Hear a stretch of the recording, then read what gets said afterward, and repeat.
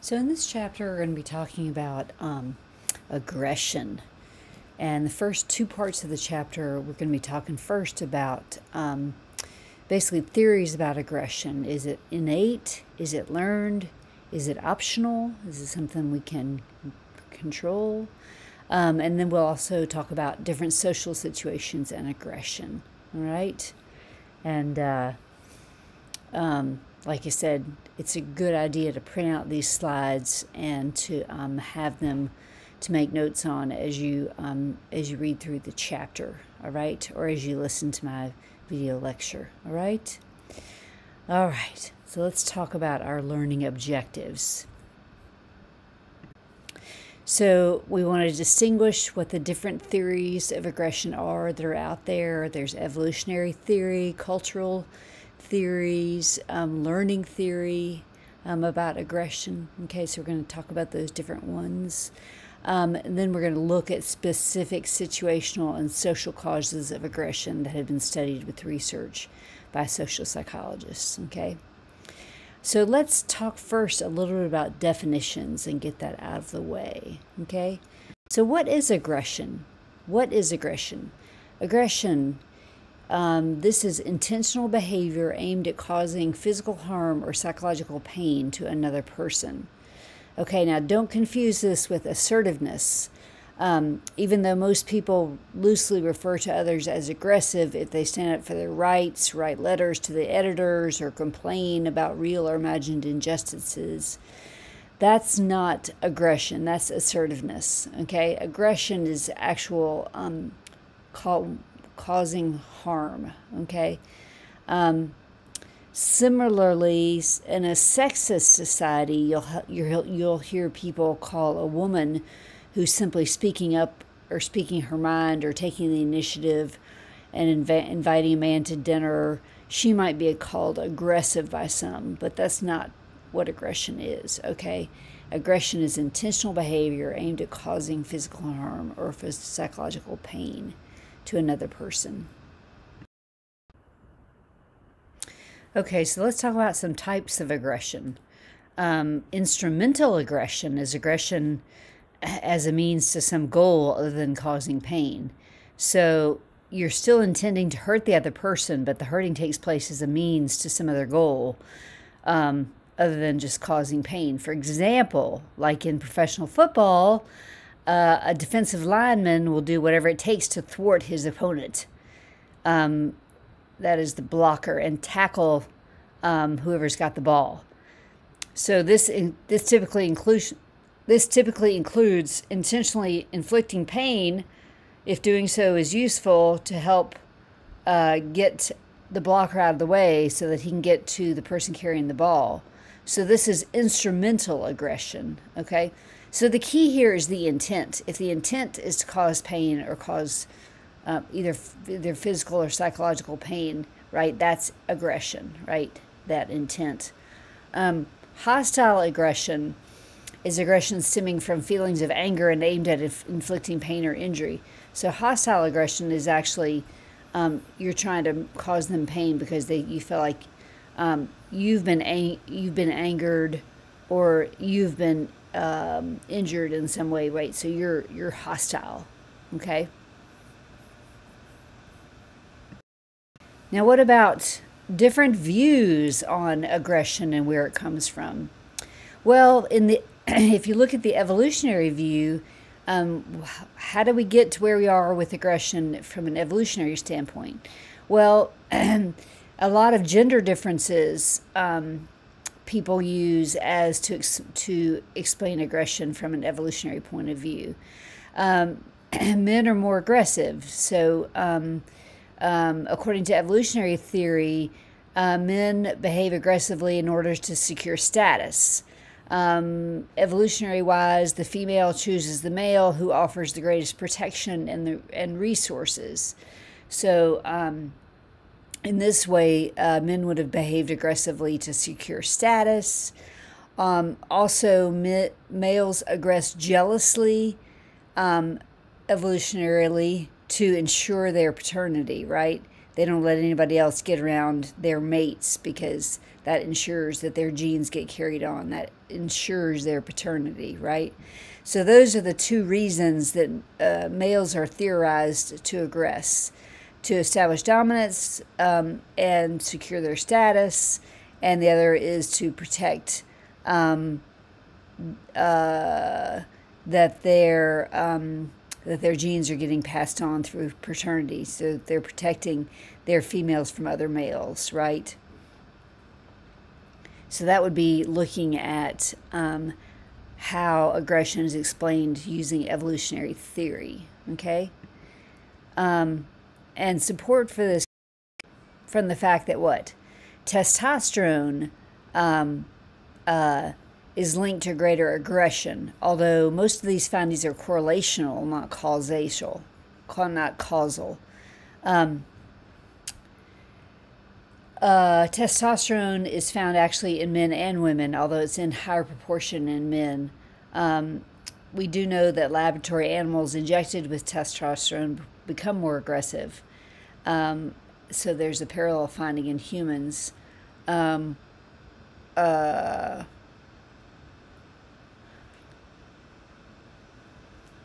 and we don't know whether these are causal. Uh, all the studies are correlational, so the causality could run in either direction. Studies that show that prisoners convicted of violent crimes um, have higher testosterone than prisoners convicted of nonviolent crimes. Um, similarly, um, juveniles, um, juvenile delinquents are have higher testosterone than do college students. However, we don't know what came first the the the aggressive aggression or the testosterone, right? Uh, being in an aggressive, competitive, or um, sexual situation increases the production of testosterone, right? So we don't know which one came first, the testosterone or the aggression. Okay, so that's important to note that the findings with tes- linking testosterone to greater aggression are only correlational, not causal, right? So, from the evolutionary vo- viewpoint, then, if boys are aggressing against each other, that's just boys being boys, right? Um, uh, boys are more likely than girls the world over to roughhouse and pummel each other. So, is this evidence of hostile or instrumental aggression or just a physical play, right? Well, we're not sure, but we've psychologists have been studying this different ways. We've looked at other primates, we've looked at other species, and what have we found? Well, when we look at aggression in other animals, um, there's all kinds of interesting things we can see. For instance, um, most people assume that cats will instinctively stalk and kill rats. So Kuo attempted to demonstrate that this was a myth. So he did a little experiment where he raised a cat, a kitten in the same cage with a rat. Not only did the cat refrain from attacking the rat, but the two became close companions. Moreover, when given the opportunity, the cat refused either to chase or kill other rats. Thus, um, the benign behavior on the cat's part was not confined to the one rat that the cat lived with, but generalized to other rats um, that the cat had never met. So, uh, although it, this experiment was really unique, it doesn't prove that aggressive behavior is not instinctive. It merely demonstrates that aggressive instinct can be inhibited um, by our early experiences. Um, so, what if an organism organism grows up without any contact with other organisms? Will it or won't it show aggressive tendencies?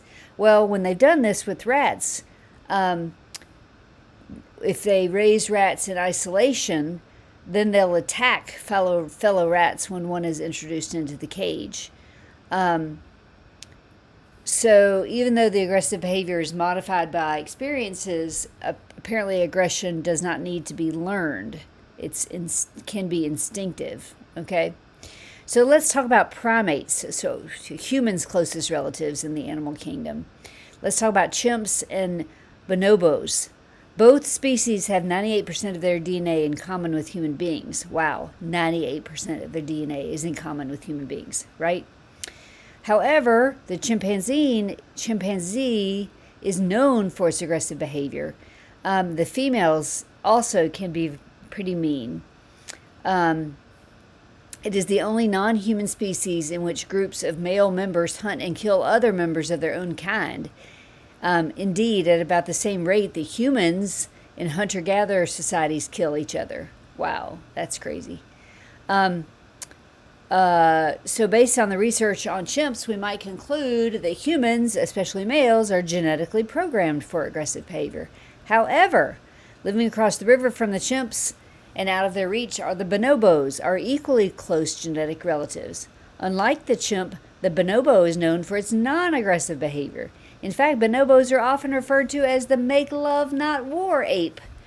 Prior to engaging in, in, activities that could otherwise lead to conflict, bonobos have sex, an activity that functions to diffuse potential conflict. Thus, when the group arrives at a feeding ground, they first enjoy some sexual play and then proceed to eat peacefully.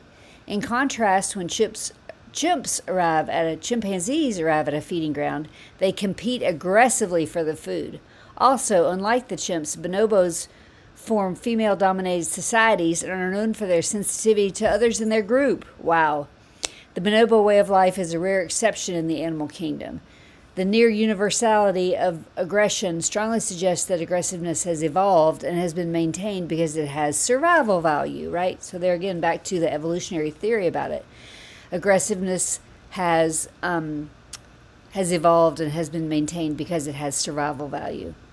Um, okay, and we also know that at the same time, nearly all organisms also seem to have evolved strong inhibitory mechanisms that enable them to suppress aggression when it is in their best interest to do so, right? Um, and we know that aggression is determined by the animal's previous social experiences as well as by the specific social context in which the animal finds itself. Wow. Okay A lot of information there. Okay, so it's very interesting. So we can ask ourselves the question then Are all primates naturally aggressive? No, right? Because of what we just talked about. When people say that aggression is natural, they point often to chimps, right? That picture on the left, who indeed are pretty belligerent and aggressive. But bonobos, I'm sorry, yes, bonobos the picture on the right would rather make love than war, right? So um, it just depends on which what primate you're talking about, right? Culture and aggression. Aggression is an optional strategy. Um, most psychologists believe that aggression is optional, right? Um, we are born with our capacity for aggressive behavior. Um, so that capacity for aggression exists. Um, however, uh, how, where, when we express it is learned and depends on our circumstances and our culture. Okay? Because of the complexity and importance of our interactions, um, once again, we know that the social situation becomes more important than hormones or pre-genetic dispositions, right? So we think in terms of um, changing social conditions as changing our behavior, right? Um, uh, so people might be very peaceful, um, but there might be something that causes aggressiveness, such as um, maybe uh, some sort of social change occurs that increases competition, right? So then aggressiveness increases as competition increases. For example, for hundreds of years, the Iroquois of North America lived peacefully. They were a hunting uh, nation. Uh, they did, they were not aggressive against other tribes. But then when Europeans um, came around in the 17, uh, I'm sorry, in the 18, no, in the 1600s, um, uh, and Iroquois started bartering with them, that put them in direct competition with the neighboring Hurons over furs. So then the Iroquois competed with Hurons to sell fur to the Europeans, and um, it created a whole series of skirmishes. Um, and eventually it developed into um, uh, wars, right? And the Iroquois developed into ferocious warriors. So it would be hard to argue that they were these amazing warriors because of their uncontrollable aggressive instincts. Rather, they developed this aggressiveness uh, through the learning and the conflict that they had with the with the um, Hurons. Okay, so again, we see that we see that the changing social conditions uh, changed their behavior.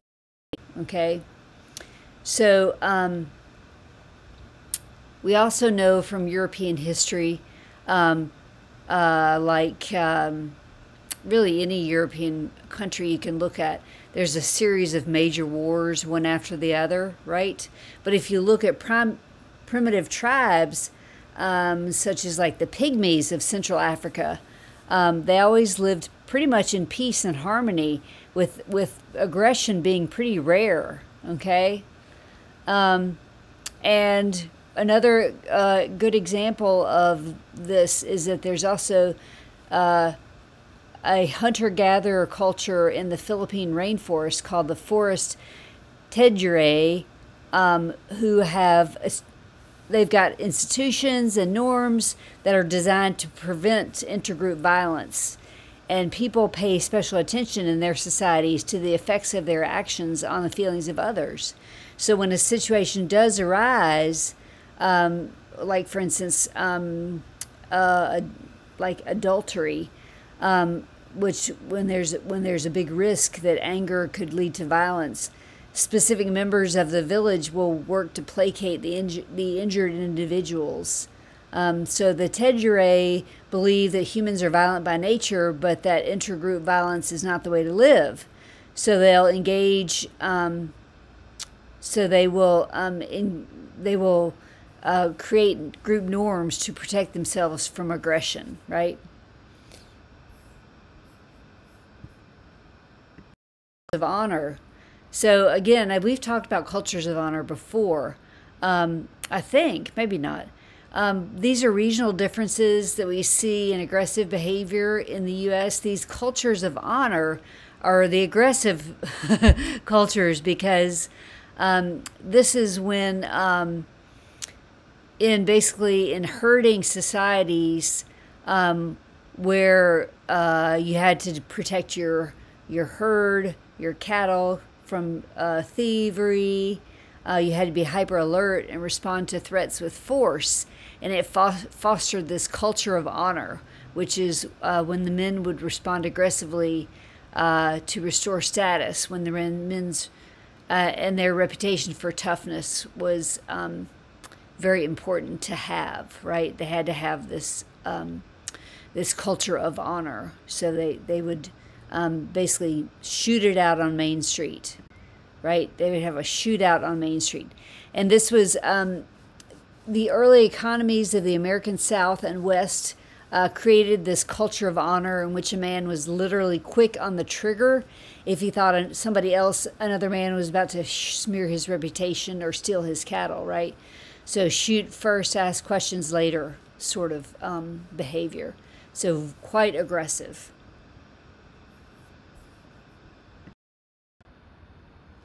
So let's talk a little bit about um, aggressiveness um, and gender, um, and let's see if we can um, tease out some some differences that we see um, pretty much across the board that research has found.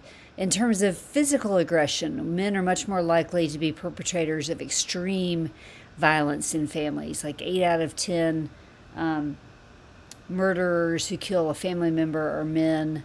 Um, and men are more likely to inflict serious injury if they if they beat up on someone, right?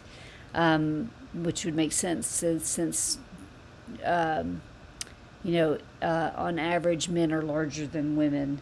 Um, we don't see uh, gender differences in terms of uh, physical aggressiveness, meaning Um, just as many women are aggressive as men are aggressive.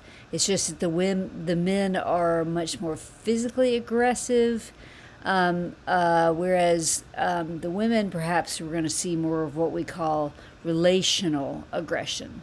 Okay, what's relational aggression? Relational aggression is harming another person through manipulation. Um, so it can be like um, uh, back, you know, backbiting, shunning, or spreading false rumors about another person, right? So women are more likely to be perpetrators of relational aggression. Okay, so if you look at this chart, let me show you this chart. This is the lifetime prevalence of physical violence uh, by an intimate partner. And you'll see here that um, clearly women um, are more likely to be the target of physical violence um, by their intimate partners. Women are the blue line here. So just about any of the, I think all of the um, different categories of um, types of physical aggressiveness, um, the uh, the women are inflicted more than the men.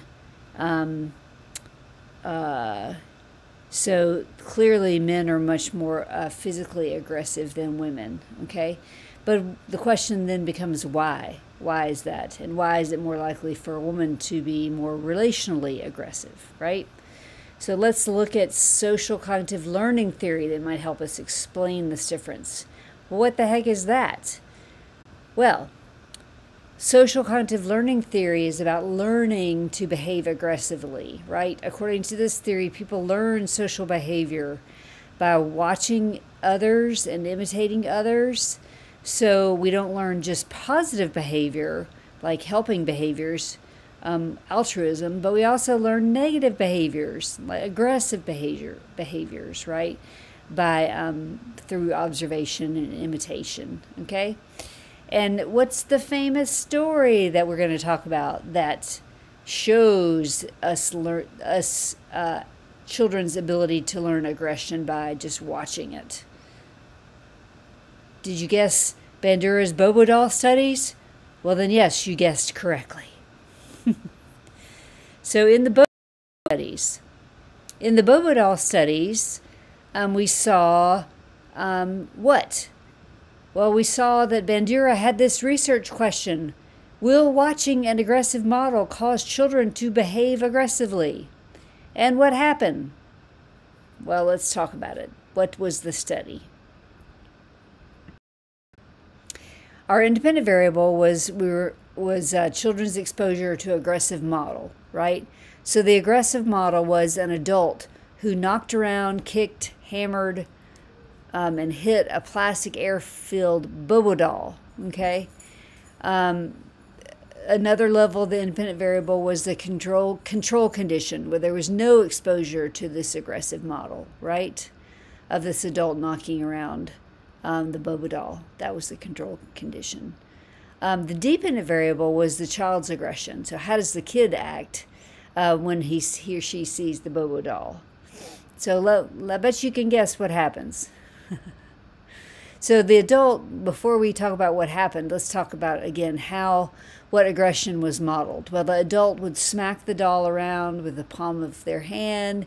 They would hit it with a mallet. They would kick it. They would yell aggressively at it right? They would do all these things. Okay, so then what happened when the kids were allowed to play with the doll? Well, the results were that the children imitated the aggressive adults, right? So they treated the doll the same abusive way. Um, they used identical actions and they used identical aggressive words as the adult models. Um, and and many even went beyond mere imitation. They also engaged in novel forms of aggressive behavior. Um, so they would do things that the adults hadn't even done. Um, uh, so, um, whereas the children in the control control condition almost never showed aggression towards the bobo doll, right? So that was the clear difference between um, the d- different levels of the independent variable. If they'd seen aggression, they behaved aggressively. If they'd not seen aggression, they did not show aggression. So, very, very fascinating. Okay, um, there is a link here to um, the to uh, it's really a great um, little video about the original um, Bobo doll experiment, and I um, I encourage you to watch this this video. Um, and uh, you can you can just if you download these PowerPoint slides, then you can you'll be able to um, to get this uh, to to see this link to the Bobo doll experiment. You probably could also just Google it and pull it up pretty easily. Okay, so let's talk about what might be some physiological influences on aggression. So we do know that alcohol very much increases aggression. This is well documented in research. Okay, why does it do this? Well, um, alcohol reduces our anxiety and our inhibitions. It disrupts our information processing, our cognitive processing. Right. So we we get what's called a think drink effect. Um, uh, and this is we expect to be impaired by alcohol therefore it, we we let it influence our behavior um, so that's an interesting um, phenomenon, right? Um, so we, what do we know then? We know that when individuals ingest enough alcohol to make them legally drunk, they tend to respond more violently to, to provocations than those who have ingested little or no alcohol, right? Um, we also know when people expect alcohol to have certain effects on them, it often does. So when they think that alcohol will release their aggressive impulses, it does, right?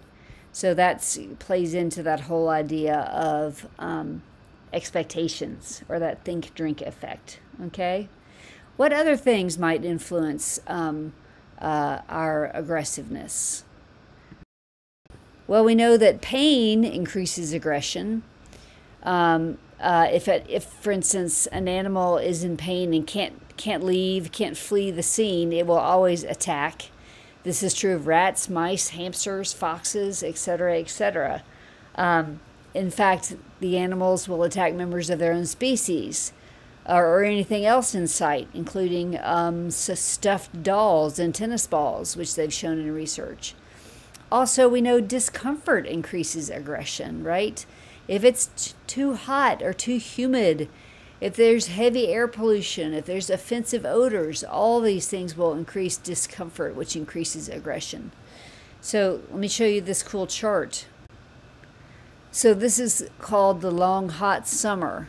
Um, so someone one time decided they should look at uh, whether temperature could predict um, violent crime and other types of aggression. Well, sure enough, um, we see that the more there's a departure from the average local temperature, um, the higher the number of violent crimes, right? Um, so if it gets colder, there's less crime. If it gets hotter, there's more crime, right? Very interesting, okay?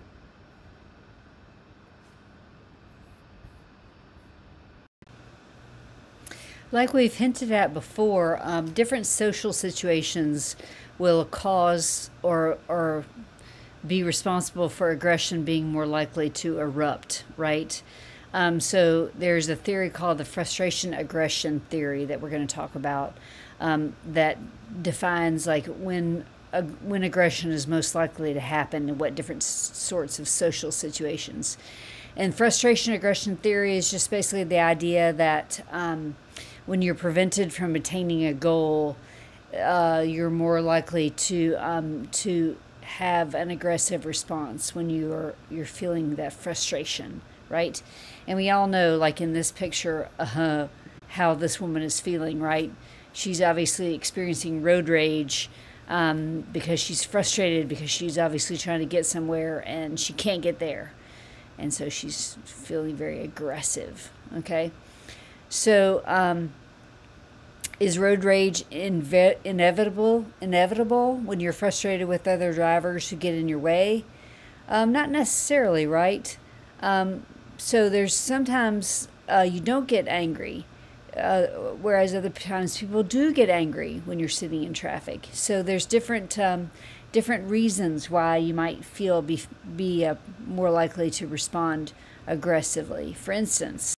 Um, if you're closer to your goal, um, that goal proximity. If it's um, if you're closer to your goal, then you um, may feel more aggressive, more likely to respond aggressively. And they've shown this in research.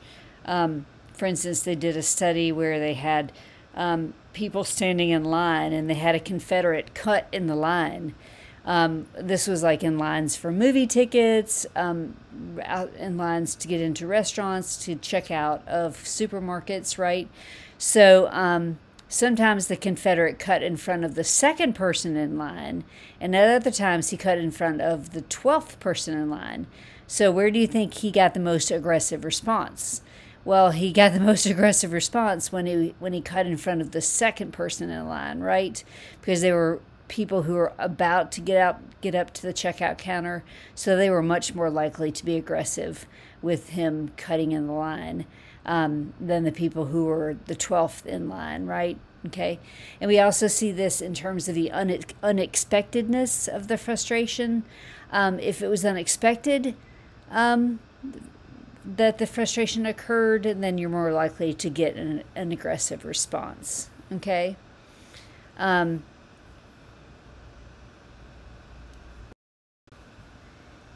we can also realize that when you feel frustrated, of course, that's not always going to lead to aggression, right? It's going to, you're probably going to feel anger, right, when you're frustrated. So it's going to increase your readiness to aggress, to aggress or to um, show aggression, right? Um, so it makes sense. Um, you feel frustration, um, you get angry, um, you might aggress, right?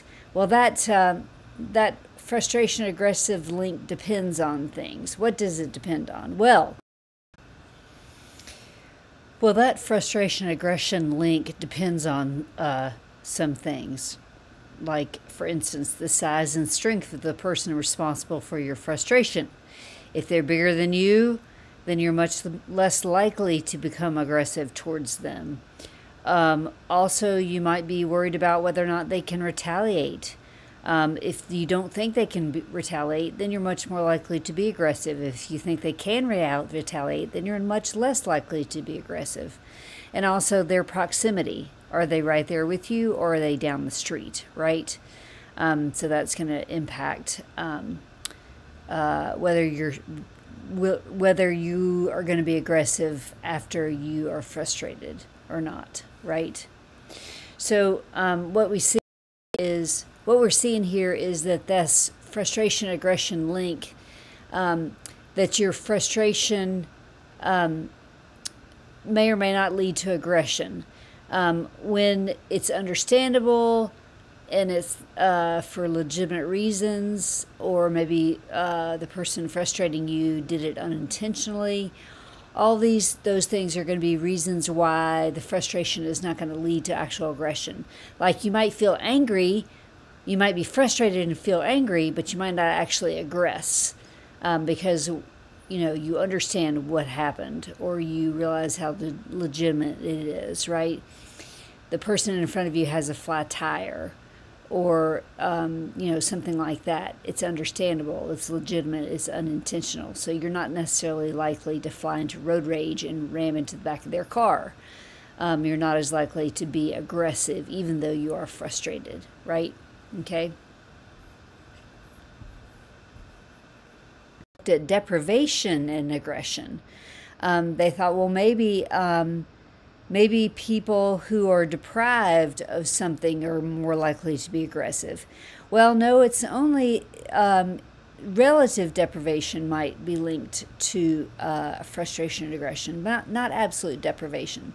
So, for instance, um, if you think about think about kids who don't have toys, they're not necessarily going to be more aggressive than children that do have toys, right? So in toy experiments, um, uh, the frustration and the aggression occurred when the kids had every reason to expect to play with the toys, and their reasonable expectation was thwarted, right? So when the, this reasonable expectation was thwarted, then the children tended to behave destructively, right? So it was relative deprivation, not absolute deprivation, right? Social scientists have found that it is um, uh, absolute deprivation um, doesn't necessarily cause the aggression, but relative deprivation, when there's a perceived discrepancy between what people have and people think they should have, uh, when that occurs, that you get this ag- aggressive tendency. Um, an example of this would be the nationwide ra- race riots, um, 1967 and 1968. Um, and that's when there was um, uh, expectations of people of getting out of poverty, and there was increased social spending to fight poverty. And um, the most serious race riots occurred not in the, the ge- geographic areas of greatest poverty, but in LA and Detroit, where things were not nearly as bad um, uh, as they were in most other large urban centers. But the conditions were bad relative to the rioters' perceptions of how the whites were doing um, and relative to the positive changes that African Americans um, had a right to expect. This, thus, an important cause of their aggression was this relative deprivation, this perception that they had less than they deserved, less than they'd been led to expect, or less than what people similar to you have, right? So that's a good example of that relative deprivation leading to frustration and aggression. Okay. Now, what about when we look at uh, when people are provoked, right? Let's talk about provocation and reciprocation. Um, when you're provoked with aggression, people reciprocate with with regression. Um, when will we not reciprocate with with aggression? Well, maybe the provocation was unintentional, or maybe there's other mitigating circumstances um, that you know about when the provocation occurs, right? Um, so, for instance, in one study, students were insulted by um, the experimenter's assistants, um, and then half of them were told that the assistant was upset because they'd received an unfair low grade on a chemistry exam um, uh, and then, whereas the other students received this information about the assistant's uh, bad grade on the chemistry exam only after the insult was delivered. Um, anyway, after they all had a chance to retaliate, those who knew about the mitigating circumstances before being insulted were less likely to deliver um, uh, less intense bursts of noise um, uh, to zap the assistants to zap the assistant than those who received the information after um, the uh, the um, they were aggressed upon, right? So um, so that that was a showed that uh, the interpretation um, was bolstered by evidence of the physiological arousal. So when the people were insulted. Um, those who um, knew what was going on with the assistant, they did not have the, the physiological response um, as the other people did, right?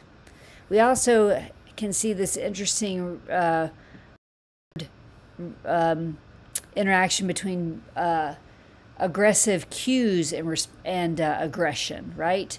So we've there's been some research that's looked at weapons as aggressive cues, and we see this what we call the weapons effect. Okay, and this is an increase in aggression that can occur simply because there's a gun or another weapon present, right? So um, this is some really interesting research. Uh, there was a classic experiment done um, where they looked at. Uh, the average duration of shocks administered by angry subjects um, when there was a gun in the room or when there was a badminton racket, in the room. So you see the, the blue bar is the, um, the duration of the shocks, um, and you see that the vertical y-axis, that's number of seconds. So they, they were much more uh, longer uh, duration of shocks um, uh, when there was a gun in the room than when there was a bid- badminton racket in the room. Okay, so when they were when college students were made angry in a room in which there was a gun, um, they were much more likely to deliver a longer shock than participants who were made, made angry when there was a neutral object such as the badminton racket laying in the in the room, right? So um, the mere presence of the gun um, uh, resulted in more aggressiveness, right? And this basic finding has been replicated in many studies uh, in the United States and the U.S. In I'm sorry, in the United States and in Europe, right? Um, so these findings point to a conclusion opposite to the familiar slogan often used by opponents of gun control that guns don't kill, people do. Actually, guns do kill. Um, as Leonard Berkowitz put it, an angry person can pull the trigger of his gun if he wants to commit violence, but the trigger can also pull the finger or otherwise elicit aggressive reactions um, from him if he is ready to aggress and does not have strong inhibitions against such behavior. Aggressive cues, such as weapons, tend to increase levels of aggression, right? Very interesting research.